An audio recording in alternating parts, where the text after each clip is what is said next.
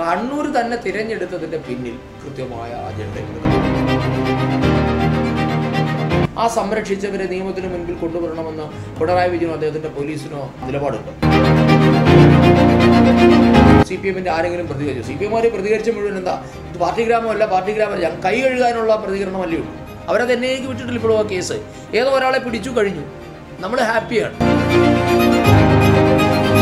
നേതാക്കന്മാർ നിഷേധിക്കുമായിരിക്കും കാര്യം അവർക്ക് വൈറ്റിപ്പഴപ്പാണ്. നമസ്കാരം.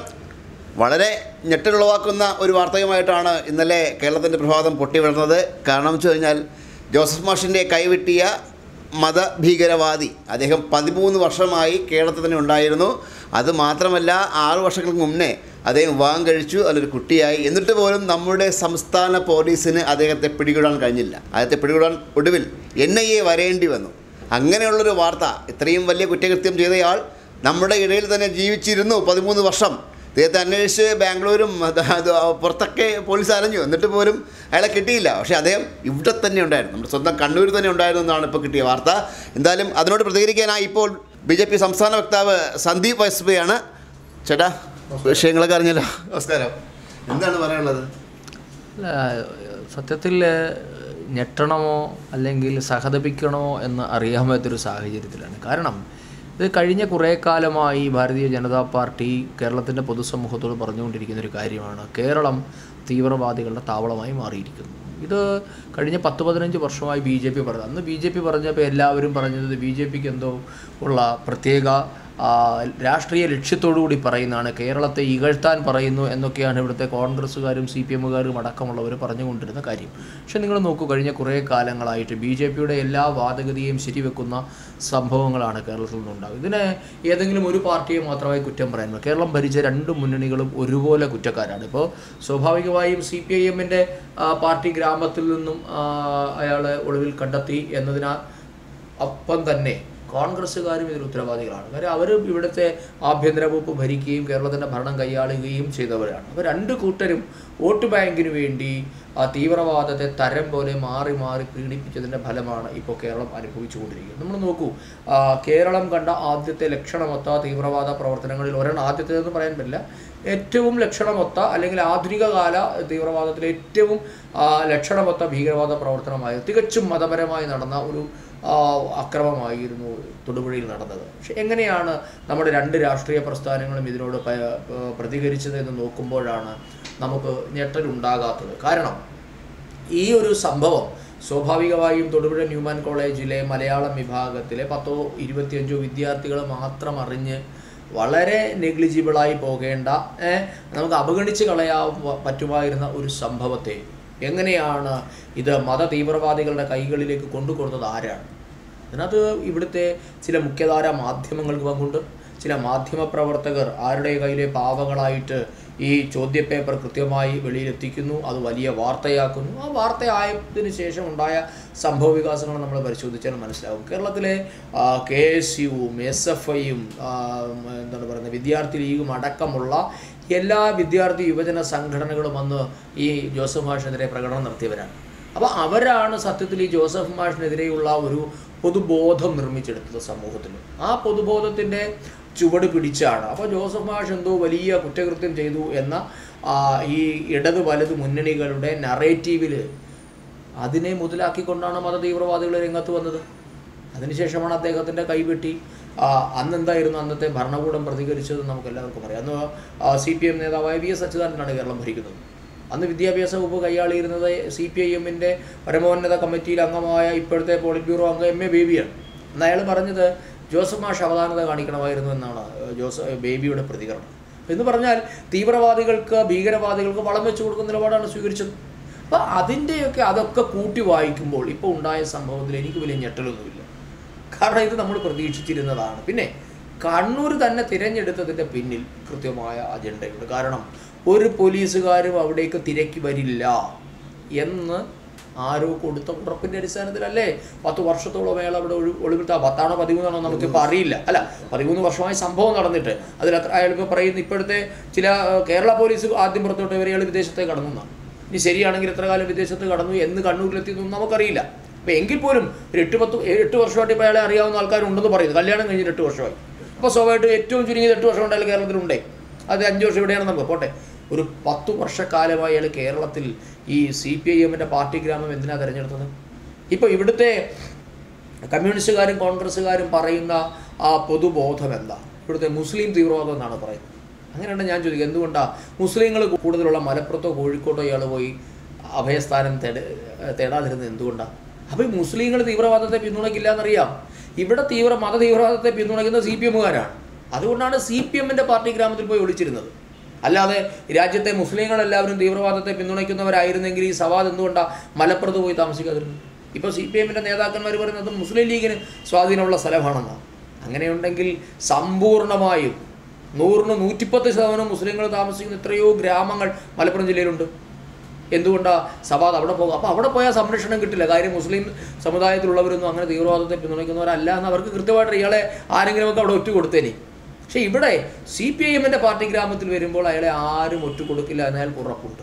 അതുകൊണ്ടാണ് അയാൾ കണ്ണൂർ വന്ന് താമസം കാസർഗോഡ് സി പി എമ്മിന്റെ പാർട്ടി ഗ്രാമങ്ങളുണ്ട്. കണ്ണൂരുണ്ട്. അപ്പോൾ നിങ്ങൾ നോക്കൂ ഇത് ഭരണകർത്താക്കന്മാരാണ് ഇതിന്റെ ഉത്തരവാദികൾ. അതുകൊണ്ടാണ് ഞാൻ പറഞ്ഞത് എനിക്ക് നമുക്ക് അതിനകത്ത് വലിയ ഞെട്ടലൊന്നുമില്ല. അതിനുശേഷം നിങ്ങൾ നോക്കൂ ഇപ്പോൾ ഈ സംഭവം ഉണ്ടായതിനു ശേഷം ഇരുപത്തിനാല് മണിക്കൂർ പിന്നിടുന്നു. കേരളത്തിലെ ഏതെങ്കിലും സാംസ്കാരിക നായകന്മാർ ഞെട്ടിയോ? ആരെങ്കിലും അവാർഡുകൾ തിരിച്ചു കൊടുത്തു? അവാർഡ് തിരിച്ചു കൊടുക്കണമെന്ന് ഞങ്ങൾ പറയുന്നില്ല. പക്ഷേ ആരെങ്കിലും പ്രതികരിക്കാൻ രംഗത്തിറങ്ങി. പക്ഷേ ഉത്തർപ്രദേശിൽ ഒരു ക്രിമിനൽ ആക്ടിവിറ്റി നടന്നാൽ മതം നോക്കി അതിന്റെ പ്രതികളുടെ മതം നോക്കി പ്രതികരിക്കാൻ വെമ്പി നിൽക്കുന്നവരായിരുന്നു കേരളത്തിലെ ആ, സാംസ്കാരിക നായകന്മാർ എന്തുകൊണ്ടാണ് അവരാരും പ്രതിക്കാതിരിക്കാതിരുന്നത്? നോക്കൂ ഇത് ഇത് ബി ജെ പിക്കാരന്റെയോ ആർ എസ് എസ്സുകാരന്റെയോ മാത്രം പ്രശ്നമല്ലല്ലോ. കേരളത്തിലെ മൂന്നര കോടി ജനങ്ങളുടെ അല്ലെങ്കിൽ ഈ രാഷ്ട്രത്തിലെ നൂറ്റി നാൽപ്പത്തിയഞ്ച് കോടി ജനങ്ങളുടെ ജീവനെ ബാധിക്കുന്ന വിഷയമാണ്. ഒരു കൊടും ഭീകരവാദിയാണ് പിടിയിലായിരിക്കുന്നത്. അപ്പോൾ അയാളെ ആരാണ് സംരക്ഷിച്ചത്? ആ സംരക്ഷിച്ചവരെ നിയമത്തിന് മുൻപിൽ കൊണ്ടുവരണമെന്ന് പിണറായി വിജയനോ അദ്ദേഹത്തിന്റെ പോലീസിനോ നിലപാടുണ്ടോ? സി പി എമ്മിന്റെ ആരെങ്കിലും പ്രതികരിച്ചു? സി പി എമ്മാർ പ്രതികരിച്ച മുഴുവൻ എന്താ? ഇത് പാർട്ടി ഗ്രാമമല്ല പാർട്ടി ഗ്രാമമല്ല. ഞങ്ങൾ കൈ കഴുകാനുള്ള പ്രതികരണമല്ലേ ഉള്ളൂ. അല്ല ഇതിനകത്തൊരു ആശങ്ക ആർക്കെങ്കിലും ഉണ്ടോ? കേരളത്തിൽ എത്ര എത്ര സാംസ്കാരിക നായകന്മാരുണ്ട് എത്ര സിനിമാക്കാരുണ്ട് എത്ര എഴുത്തുകാർ എത്ര കവികൾ എത്ര നാടകക്കാർ എത്ര ആക്ടിവിസ്റ്റുകൾ? ആരെയും കാണുന്നില്ലല്ലോ ഇവിടെ. നോക്കൂ നമ്മളുടെ ഇടയിൽ തന്നെയാണ് ഭീകരവാദി താമസിച്ചുകൊണ്ടിരുന്നത്. ഇയാൾ മരപ്പണിക്ക് പോയിട്ട് ആരുടെയെല്ലാം വീടുകളിൽ പോയിട്ടുണ്ടാകും. അപ്പം നമ്മളുടെയൊക്കെ വീടുകളിൽ മത ഭീകരവാദികൾ പണിക്ക് വന്നിട്ടുണ്ട്. ആരാണ് ഇവർക്ക് ഇവിടെ ഇതിനുള്ള ലൈസൻസ് കൊടുത്തതെന്നാണ് നമ്മുടെ ചോദ്യം. ചുമ്മാ ഒരാൾക്ക് ഒന്ന് താമസിക്കാൻ പറ്റുമോ? ഇപ്പോൾ സവാദ് മലയാളി ആയതുകൊണ്ട് നിങ്ങൾ തിരിച്ചറിഞ്ഞു. നമ്മുടെയൊക്കെ വീടുകളിൽ വരുന്ന ബംഗാളികളെന്നും ആസാമുകാരെന്നും പറഞ്ഞ് വരുന്നവർ യഥാർത്ഥത്തിൽ ബംഗാളുകാർ ആസാമുകാരാണോ ഇല്ലയോ എന്ന് ആരാ ഉറപ്പിക്കുന്നത്? ഇവർ ബംഗ്ലാദേശികളാണോ? അല്ല പാകിസ്ഥാൻകാരുമാണോ? എവിടുന്നൊക്കെ കടന്നു വരാം? ഒരു രാജ്യത്ത് നിന്ന് വ്യാജ പാസ്പോർട്ടിൽ മറ്റൊരിടത്ത് നിന്ന് അതിർത്തി കടന്ന് ഇന്ത്യയിൽ വന്നവരാണോ? കേരളത്തിൽ നിന്ന് താമസിക്കുന്നില്ലെന്ന് എങ്ങനെ അറിയുന്നു? ചേട്ടാ ഇതൊരു ഒറ്റപ്പെട്ട സംഭവമല്ല. അതിന് മുന്നേ അഭിമന്യുവിന്റെ കാര്യം നോക്കിക്കഴിഞ്ഞാലും അതായത് മതഭീകരവാദവുമായി ബന്ധപ്പെട്ട ഏത് കാര്യം എടുത്തു കഴിഞ്ഞാലും ആ പാകിസ്ഥാന്റെ മുദ്രയുള്ള വെടിയുണ്ണ് കേട്ടത് കാര്യമായാലും ഒരു രണ്ട് ദിവസത്തെ കോലാഹലം കഴിഞ്ഞാൽ ഇതിന്റെ പിറകിൽ പോലീസ് പോകുന്ന പതിവ് കാണാനില്ല. അത് ഈ പറയുന്ന രാഷ്ട്രീയ ഇടപെടൽ മൂലമാണെന്നാണോ ചേട്ടാ വിചാരിക്കുന്നത്? അങ്ങനെയല്ലേ നമ്മുടെ അനുഭവം നമ്മളെ പഠിപ്പിച്ചത്? ഞാൻ ഞാനിപ്പോൾ ഞാൻ പറയുമ്പോൾ നിങ്ങൾ അതിനെ രാഷ്ട്രീയമായി കാണേണ്ട. ഞാൻ രാഷ്ട്രീയക്കാരായതുകൊണ്ട് ഞാൻ പറയുന്നത് രാഷ്ട്രീയമാണെന്നല്ല കാണേണ്ടത്. എന്താ നിങ്ങളുടെയൊക്കെ അനുഭവം എന്ന് പറഞ്ഞാൽ കേരളത്തിൽ എത്ര തീവ്രവാദ ഇൻസിഡന്റുകൾ നടന്നു? ഏതിലെങ്കിലും ഒരു ലോജിക്കൽ കൺക്ലൂഷനിലേക്ക് എത്തിയിട്ടുണ്ടോ?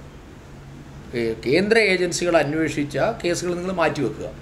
ഇപ്പോൾ നാറാത്ത് കേസുണ്ടായിരുന്നു വാഗമൺ സിമി ക്യാം ഉണ്ടായിരുന്നു നാവായിക്കുളത്തെ സിമി ക്യാമിന്റെ പ്രശ്നം ഉണ്ടായിരുന്നു അധ്യാപകന്റെ കൈവെട്ട് കേസ്. ഇങ്ങനെ തുടങ്ങിയ കേന്ദ്ര ഏജൻസികൾ അന്വേഷിച്ച കേസുകളിലല്ലാതെ ഇവ തടിയന്റെ അവിടെ നസീറിന് അടക്കമുള്ളവരെ പിടികൂടി തന്നെ ചെയ്യുകയാണല്ലോ അല്ലാതെ ഏത് കേസിലാണ് കേരള പോലീസ് അന്വേഷിച്ച ഒരു തീവ്രവാദ കേസ് ലോജിക്കൽ കൺക്ലൂഷൻ എത്തിയത് നിങ്ങളൊന്ന് പറഞ്ഞേ നീ അബ്ദുൽ നാസർ മദിനയുടെ ഭാര്യയുമായി ബന്ധപ്പെട്ട മക്കളമശ്ശേരി തീവപ്പ് കേസ് ബസ്സിലെ തീ വെച്ചു കേരളത്തിൽ ആദ്യത്തെ തീവ്രവാദ പ്രവർത്തനങ്ങൾ ഒരെണ്ണമായിരുന്നു.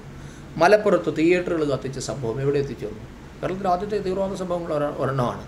മാറാട് കേസ് എവിടെ എത്തി? സി ബി ഐക്ക് വിടണമെന്നുള്ള ഫയലിൽ ഇന്നും സംസ്ഥാന സർക്കാർ അടയിരിക്കുക. ഇന്നും മാറാട് കേസ് സി ബി ഐക്ക് വിട്ടിട്ടില്ല. എവിടെ എത്തിച്ചേർന്നു? പിന്നെ കൊല്ലം കോഴിക്കോട് കളക്ട്രേറ്റുകളുണ്ടായ സ്ഫോടനം. എനിക്കൊന്ന് മലപ്പുറത്ത് ഉണ്ടെന്ന് തോന്നുന്നു. മൂന്ന് കളക്ട്രേറ്റുകളിൽ സ്ഫോടനം നടന്നു കേരളത്തിൽ. എന്ത് എന്ത് നടപടിയാണ് ഉണ്ടായിട്ടുള്ളത്? നാദാപുരത്ത് ഉണ്ടായിട്ടുള്ള സംഭവത്തിൽ എന്താ ഉണ്ടായിട്ടുള്ളത്? നിങ്ങൾ ഈ പറഞ്ഞതുപോലെ കൊല്ലത്തും പുനലൂരിൽ നിന്നും പാകിസ്ഥാൻ വെടിയുണ്ടകൾ കണ്ടെടുത്ത കേസിൽ എന്ത് ആരറസ്റ്റാണ് ഉണ്ടായത്? ട്രെയിനിൽ തീ വെച്ചല്ലോ. ഒരു ഒരാളെ പിടിച്ചു കഴിഞ്ഞു. കഴിഞ്ഞ രണ്ട് മാസങ്ങൾക്ക് മുമ്പല്ലേ സാൽവേഷൻ ആർമിയുടെ വിശ്വാസികളുടെ ദൈവരക്ഷാ പ്രത്യക്ഷ അല്ലേ സാൽവേഷൻ ആർമി. അവരുടെ പ്രാർത്ഥനാ ക്യാമ്പിലേക്ക് അതിക്രമിച്ചു അഞ്ചോ ആറോ പേര് മരിച്ചു ആ തീവ്രവാദി ആക്രമണത്തിൽ അത് തീവ്രവാദി ആക്രമണം അല്ലെന്നാണ് സംസ്ഥാന സർക്കാർ പറയുന്നത്. അവരത് എൻ ഐക്ക് വിട്ടിട്ടില്ല ഇപ്പോഴും ആ കേസ്. ഏതോ ഒരാളെ പിടിച്ചു കഴിഞ്ഞു. നമ്മൾ ഹാപ്പിയാണ്. എന്താണ് എവിടെയാണ് ഉണ്ടായത്? കളമ നമ്മൾ ട്രെയിനിൽ തീപിച്ച കേസിലെ പ്രതി ആ കേസ് എന്തായി? ഏതോ ഒരാളെ പിടിച്ചു. അത് ആ പിടിച്ച അയാളെ മാധ്യമപ്രവർത്തകർ വിഷ്വൽ എടുത്തു എന്ന് പറഞ്ഞുകൊണ്ട് മാധ്യമപ്രവർത്തകരെ അറസ്റ്റ് ചെയ്യാൻ ശ്രമിക്കുന്നു. ആ ഏതോ ഒരു പോലീസുകാരെ സസ്പെൻഡ് ചെയ്തു എന്നൊക്കെയാണ് ഇപ്പോൾ അറിയുന്നത് നോക്കൂ നിങ്ങൾ. അപ്പോൾ എവിടെയാണ് കേരളത്തിലെ ഏതെങ്കിലും ഒരു തരത്തിലുള്ള തീവ്രവാദ കേസുകളെ ലോജിക്കൽ കൺക്ലൂഷൻ എത്തിക്കാൻ കേരള പോലീസിന് കഴിഞ്ഞിട്ടില്ല. അത് കഴിയാത്തത് ഞാൻ ആദ്യം പറഞ്ഞതുപോലെ കേരള പോലീസിന്റെ കഴിവുകേട് കൊണ്ടല്ല. രാഷ്ട്രീയക്കാർ മാറി മാറി സംരക്ഷിക്കുന്നത് രണ്ടുപേർക്ക് വോട്ടാണ് പ്രധാനം. ജനങ്ങളുടെ സുരക്ഷ സുരക്ഷയൊന്നും അവർക്കൊരു വിഷയമല്ല. ഈ കോൺഗ്രസ്സുകാർ എന്തെങ്കിലും മാന്യന്മാരാണ്? ഇപ്പോൾ ഈ പറയുന്ന കോൺഗ്രസ്സുകാരന്മാർ കോൺഗ്രസ്സുകാർ ഭരിച്ചുകൊണ്ടിരുന്നപ്പോൾ എന്തെല്ലാം വിഷയങ്ങളാണ് കേരളത്തിൽ നടന്നത്? ഏതിലെങ്കിലും തീരുമാനം എടുത്തിട്ടുണ്ടോ? അപ്പോൾ ഇവിടെ ഇവരിത് തീരുമാനമെടുക്കാത്തതിന്റെ കാര്യം എന്താ ഇവർ മുമ്പ് ഞാൻ പറഞ്ഞതുപോലെ മുസ്ലിം സമുദായത്തിന്റെ വോട്ട് മുഴുവൻ ഏതോ തീവ്രവാദികളുടെ കക്ഷത്തിലിരിക്കുകയാണ് എന്നുള്ള കൺക്ലൂഷനാണ് ഇവർക്ക്. നിങ്ങൾ നോക്കൂ കേരളത്തിലെ മുസ്ലിങ്ങളെ അപഹസിക്കുകയല്ലേ ശരിക്കും ഇവർ ചെയ്യുന്നത്? തീവ്രവാദികളെ പിന്തുണച്ചാൽ മുസ്ലിങ്ങൾ വോട്ട് ചെയ്യും എന്ന് പറയുന്ന ലോജിക്കിന്റെ പിന്നിൽ എന്താ? ഇവരുടെ ആ ഒരു സ്റ്റേറ്റ്മെന്റിന്റെ പിന്നിലെ ലോജിക്ക് എന്താ? അതിന്റെ അർത്ഥം കേരളത്തിലെ മുസ്ലിങ്ങളിൽ തീവ്രവാദികളാണെന്നല്ലേ ഇവർ പറയാതെ പറയുന്നത്? നേരെ മറിച്ച് ബി ജെ പി പറയുന്നു കേരളത്തിലെ മുസ്ലിങ്ങളും തീവ്രവാദികളല്ല. വളരെ മൈനോറിറ്റി ആയിട്ടൊരു വിഭാഗമാണ് ഇത് ചെയ്യുന്നത്. അതിനിവർ ബഹുഭൂരിപക്ഷം വരുന്ന മുസ്ലിങ്ങളെ പ്രതികളാക്കുക. ടേക്കൺ ഫോർ ഗ്രാന്റഡ് എന്ന് പറയുന്നത് പോലെ മുസ്ലിങ്ങളെ തീവ്രവാദികളായിട്ടൊക്കെ ചിത്രീകരിച്ച് വിടുക. ആരും? സവാദിനെയും മദനിയെയും അല്ലെങ്കിൽ തടിയന്റെ അവിടെ നസീറിനെയും പിന്തുണച്ചാൽ മുസ്ലിങ്ങൾ വോട്ട് കിട്ടുമെന്ന് പറയുമ്പോൾ കേരളത്തിലെ മുസ്ലിങ്ങൾ മുഴുവൻ ഈ തീവ്രവാദികളുടെ കക്ഷത്തിലാണെന്നല്ലേ പറയുന്നതിന്റെ അർത്ഥം? അപ്പോൾ അതാണ് ഇവർ ചെയ്യുന്നത്. ഞാൻ അതുമാണ് ചോദിച്ചത് എന്തുകൊണ്ടാണ് സവാദ് മുസ്ലിം ഭൂരിപക്ഷ പ്രദേശത്ത് പോകാതിരുന്നത്? അയാൾക്കറിയാം അവിടെ ചെന്നാൽ അയാൾക്ക് സംരക്ഷണം കിട്ടില്ല എന്ന് മുസ്ലിങ്ങളെ അയാളെ സംരക്ഷിക്കില്ല എന്ന് അയാൾക്കറിയാം. അതുകൊണ്ടാണ് അയാളെ പാർട്ടി ഗ്രാമത്തിൽ വന്നത്.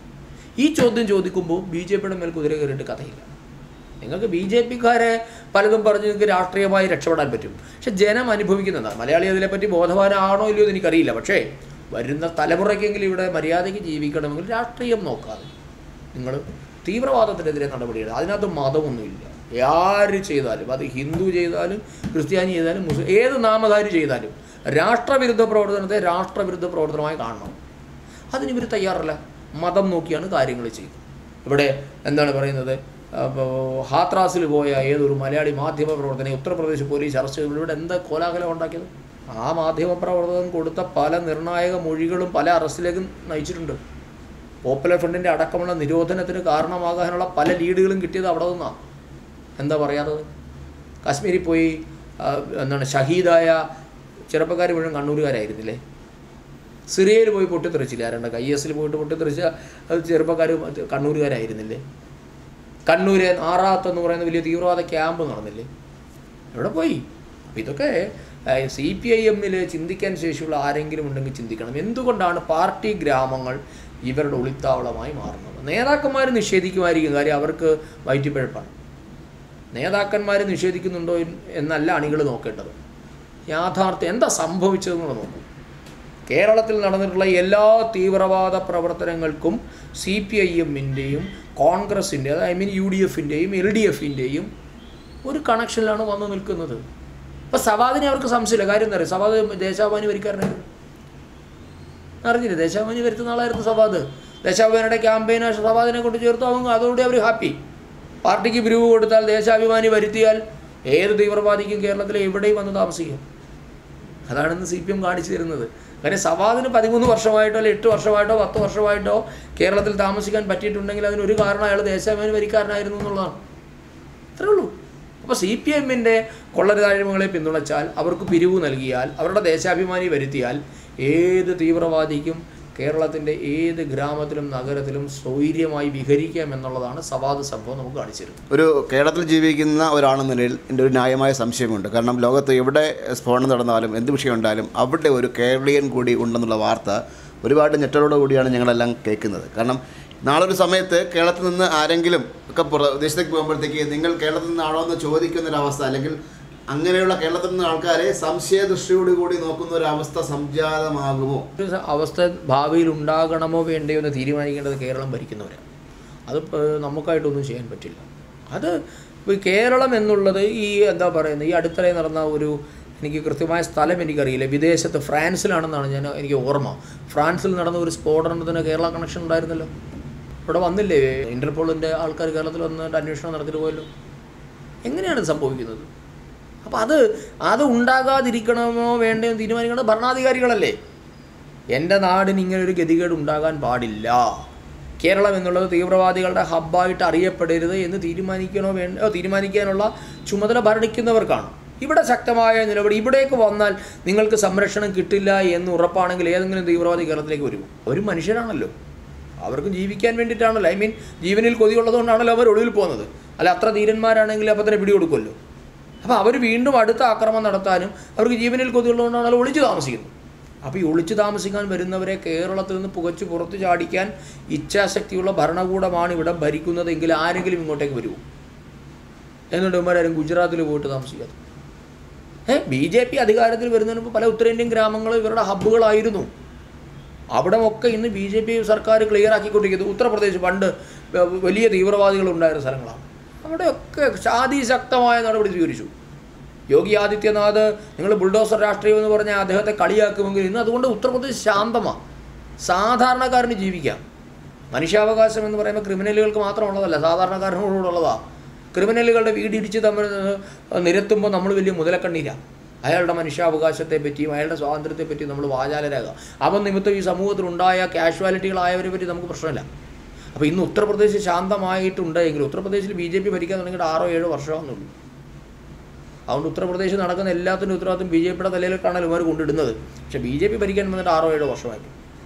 അതിനു മുൻപ് എത്രയോ ആൾക്കാരവിടെ ഭരിച്ചിരുന്നത്. ബഹുജന സമാജ്വാദി പാർട്ടിയും സമാജ്വാദി പാർട്ടിയും കോൺഗ്രസും ഒക്കെ ഭരിച്ചിരുന്ന നാടാണത്. അവർ ഗുണ്ടാരാജിനെ വളർത്തി ബി ജെ പി വന്ന് അവരെല്ലാം ഒതുക്കുന്നു. ഇന്ന് ഉത്തർപ്രദേശ് ശാന്തമായി വരുന്നു. നിങ്ങൾ നോക്കൂ. അപ്പോൾ ഇത് സംഭവിക്കുന്നത് എന്തുകൊണ്ട് ശക്തമായ ഭരണകൂട സാന്നിധ്യം ഉള്ളതുകൊണ്ടാണ് കേരളത്തിൽ ആര് വന്നാലും സി പി എമ്മിനെ പിന്തുണച്ചാൽ മതി. നാല് വോട്ട് കിട്ടിയാൽ മതി എന്ന ഭരണകക്ഷിയുടെ നിലപാട്. അത് പ്രതിപക്ഷം കൂടെ പിടിച്ചു കൊടുക്കുക. കാര്യം കോൺഗ്രസ് കോൺഗ്രസ്സുകാർ വിചാരിക്കുന്നത് എന്താ?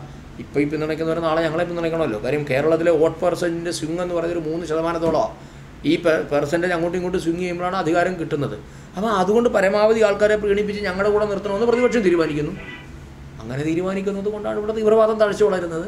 അത് വേണോ വേണ്ടോ എന്നുള്ളത് ഭരണാധികാരികൾ തീരുമാനിക്കട്ടെ. ചേട്ടാ അവിടെയാണ് മറ്റൊരു പ്രസക്തമായ ചോദ്യമുള്ളത്. കാരണം നമ്മുടെ സംസ്ഥാന പോലീസിന് ഇന്റലിജൻസ് എന്നൊരു വിഭാഗമുണ്ടോ? അതേ അവർ പ്രവർത്തിക്കുന്നില്ലേ? അല്ലെങ്കിൽ ആ ഇന്റലിജൻസ് ആരുടെയും കയ്യിലെ ചട്ടുകമായി മാറിക്കൊണ്ടിരിക്കുകയാണോ? അതേ അറിഞ്ഞിട്ട് പോലും വിവരം കൊടുത്തിട്ട് പോലും പിടിക്കുന്ന നിർദ്ദേശം ആരുടെയെങ്കിലും ഭാഗത്തു നിന്നുണ്ടായിരുന്നോ? എന്താണ് ചേട്ടന്റെ അഭിപ്രായം? നമുക്കിപ്പോൾ കേരള പോലീസിന്റെ കഴിവിനെ കുറിച്ച് കാണേണ്ട ആവശ്യമില്ല. കേരളത്തിന്റെ പോലീസ് ഉദ്യോഗസ്ഥന്മാരെന്ന് പറഞ്ഞ രാജ്യത്തെ തന്നെ ഏറ്റവും മികച്ച അന്വേഷണ ബുദ്ധിയുള്ളവരാണ്. പക്ഷേ അവരുടെ കൈകാലുകൾ ഇന്ന് കെട്ടിയിട്ടിരിക്കുന്നു. അല്ലെങ്കിൽ അവരെ നിഷ്ക്രിയരാക്കി മാറ്റിയിരിക്കുന്നു. അതാണ് സംഭവിച്ചിട്ടുള്ളത്. അല്ലാതെ കേരളത്തിലെ പോലീസ് ഉദ്യോഗസ്ഥന്മാർ കഴിവില്ലാത്തത് കൊണ്ടല്ലല്ലോ. അപ്പം ഇവിടെ രാഷ്ട്രീയക്കാർ അവരുടെ അടിമകളാക്കി പോലീസിനെ മാറ്റിയതിന്റെ കുഴപ്പമാണിത്. ഇപ്പോൾ പോലീസ് ഉദ്യോഗസ്ഥന്മാരെ സംബന്ധിച്ചിടത്തോളം രാഷ്ട്ര പൊളിറ്റിക്കൽ ക്ലിയറൻസ് അത് വലിയൊരു ഘടകമാണ്. ഒരാളെ ഒരു വലിയ പ്രമാദമായ ഒരു കേസിലെ ആളെ അറസ്റ്റ് ചെയ്യണമെങ്കിൽ സ്വമേധയാ പോയി അറസ്റ്റ് ചെയ്യുന്ന അത്ര വലിയ ആദർശ ധീരന്മാരെ പോലീസുകാരൊന്നും കേരളത്തിലില്ല. പ്രത്യേകിച്ച് ഒരു പാർട്ടി ഗ്രാമത്തിൽ കടന്നു ചെന്ന് ഒരു പ്രതിയെ അറസ്റ്റ് ചെയ്യണമെങ്കിൽ സ്വാഭാവികമായും പൊളിറ്റിക്കൽ ക്ലിയറൻസ് ക്ലിയറൻസ് വലിയ കാര്യമാണ്. അപ്പോൾ ആ പൊളിറ്റിക്കൽ ക്ലിയറൻസ് അല്ലെങ്കിൽ ഈ സവാദിനെ പോലെയുള്ള ഭീകരന്മാരുടെ സംരക്ഷകർ പ്രാദേശികമായ ഭരണകക്ഷി നേതാക്കന്മാരാണ് എന്ന് നമ്മളുടെ രഹസ്യാന്വേഷണ ഉദ്യോഗസ്ഥന്മാർ തിരിച്ചറിയുന്നതുകൊണ്ടാകാം അവർ പ്രതികരിക്കാതിരുന്നത്. അല്ല എങ്കിൽ പതിമൂന്ന് വർഷക്കാലം ഈ കേരളത്തിലെ ഇത്രയും സമർത്ഥരായ വലിയ ബുദ്ധിമാന്മാരാണ് നമ്മളെന്ന് സ്വയം നമ്മൾ കരുതുന്നവരാണ്. നമ്മളെ പറ്റിച്ചുകൊണ്ട് എങ്ങനെയാണ് സവാദിന് നമുക്കിടയിൽ ജീവിക്കാൻ കഴിഞ്ഞത്? വെറുതെ ഒരു പേര് മാറ്റി ഒരാൾക്ക് ജീവിക്കാൻ പറ്റും. നോക്കൂ നിങ്ങൾ കേരളത്തിലെ എല്ലാ മുക്കിലും മൂലയിലും ഇയാളെ തിരഞ്ഞുകൊണ്ടുള്ള ലുക്കൗട്ട് നോട്ടീസ് കേരള പോലീസ് പുറപ്പെടുവിച്ചു ക്രൈംബ്രാഞ്ച് പുറപ്പെടുവിച്ചു എൻ ഐ എയും പുറപ്പെടുവിച്ചിരുന്നു. അപ്പോൾ ഇത്രയേറെ ലുക്കൗട്ട് നോട്ടീസ് ഉള്ള ഒരാൾ ഇപ്പോൾ പറയുന്ന പേര് മാറി ജീവിച്ചു. പേര് മാറിയ ഉടനെ ഒരാളുടെ ഐഡന്റിറ്റി ഇല്ലാതാവുകയും. നമുക്ക് മനസ്സിലാകുന്നില്ല ഇതൊക്കെ ആരെയാണ് നിങ്ങൾ പറഞ്ഞ് ഫലിപ്പിക്കാൻ ശ്രമിക്കുന്നത്? ഇപ്പോൾ അയാളുടെ ഭാര്യ വീട്ടുകാർ പറയുന്നു ഞങ്ങൾക്കറിയില്ലായിരുന്നു പോലും. പക്ഷെ കൃത്യമായ എൻ ഐ ഉദ്യോഗസ്ഥന്മാർക്ക് വിവരം ഉണ്ടെന്നാണ് ഞാൻ കരുതി. ഇവരും എസ് ടി പിയുടെ അനുകൂലികളാണ്. ചുമ്മാ അതൊരു പെൺകുട്ടിയെ പിടിച്ച് ഒരാൾക്ക് കല്യാണം കഴിച്ചു കൊടുക്കും. ഒരാളെ പറ്റിയും തിരക്കാതെ. പ്രത്യേകിച്ച് മുസ്ലിം സമുദായത്തിൽ ഞാൻ മനസ്സിലാക്കുന്നത് രണ്ട് മഹല്ല് കമ്മിറ്റികളുടെ അനുമതി വേണം. ഒരു കല്യാണം നടക്കണമെങ്കിൽ. ഈ ചെറുക്കന്റെ വരന്റെ വീട്ടുകാരുടെ മഹല്ല് കമ്മിറ്റി എവിടെയാണെന്ന് തിരക്കാതെ ഇവന്റെ മാതാപിതാക്കൾ ആരാണെന്ന് തിരക്കാതെ ഇവന്റെ മഹല്ല് കമ്മിറ്റിയുടെ കത്തില്ലാതെ എങ്ങനെയാണ് ഈ വിവാഹം നടന്നത്? അപ്പോൾ അതൊക്കെ പറയുന്നത് വളരെ ആ ഭോഷ്കാണ് അല്ലെങ്കിൽ നമ്മളുടെ സാമാന്യ ജനങ്ങളെ തെറ്റിദ്ധരിപ്പിക്കാനുള്ള പരിപാടിയാണ്. ഇതൊന്നും ആയിരുന്നില്ല. ഇത് വലിയ ഗൂഢാലോചനയുണ്ട്. വലിയ നെറ്റ്വർക്ക് വലിയൊരു ശൃംഖല ഇയാളെ സഹായിക്കാൻ വേണ്ടി കേരളത്തിൽ പ്രവർത്തിച്ചിരുന്നു. ഇത് ഇതിപ്പോൾ നമുക്ക് മനസ്സിലാക്കാവുന്ന കാര്യമുള്ളൂ. കാരണം എന്താ?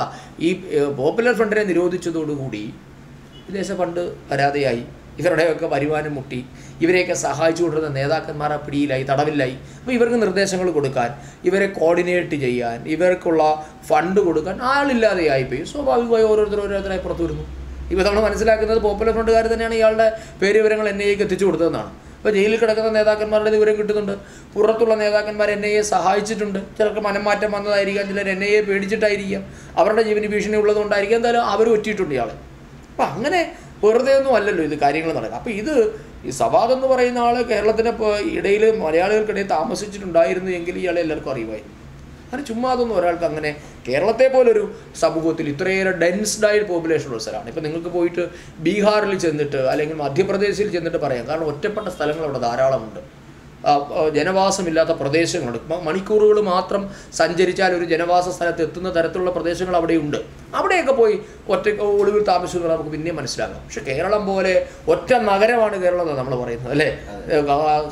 കന്യാകുമാരി മുതൽ അങ്ങ് മഞ്ചേശ്വരം വരെ അല്ലെങ്കിൽ തിരുവനന്തപുരം മുതൽ മഞ്ചേശ്വരം വരെ ഒറ്റ നഗരമായിട്ടാണ് നമ്മൾ കണക്കാക്കുന്നത്. അപ്പം ഇത്രയേറെ ഡെൻസ്ഡ് ആയിട്ടുള്ള ഒരു സ്ഥലത്ത് ഒരാൾക്ക് അങ്ങനെയൊന്നും ഒളിവ് താമസിക്കാനൊന്നും പറ്റില്ല. അത്രയേറെ ഐഡന്റിറ്റിയുള്ള അയാൾ രൂപം മാറിയിട്ടില്ല.